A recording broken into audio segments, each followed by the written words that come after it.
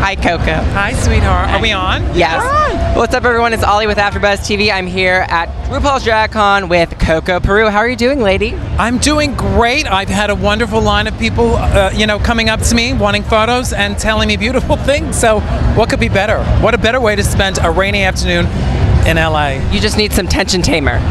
You know what? Today, I don't even need the tension tamer tea. These fans have me very tense free, actually. The fans are the tension tamer. they They've are become. my tension tamer today. Yes. How was? I really want to know. How was your experience on Will and Grace recently? Will and Grace was fabulous, and it's amazing to be able to work with people.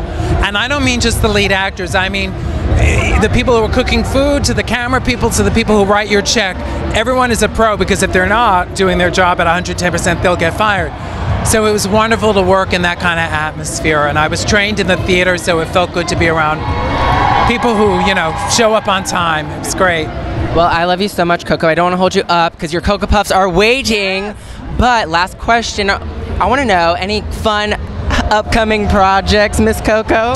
Well, I continue to tour, and also um, we're going to be filming, hopefully, Trick 2, the, the sequel to a movie I did back in 1999. Awesome. So excited to, about that. You weren't, weren't even born yet, were you? I don't know if my parents were born yet. Okay. Well, thank you so much, Coco. Have a wonderful day at Thank you, sweetheart. Thank you so much.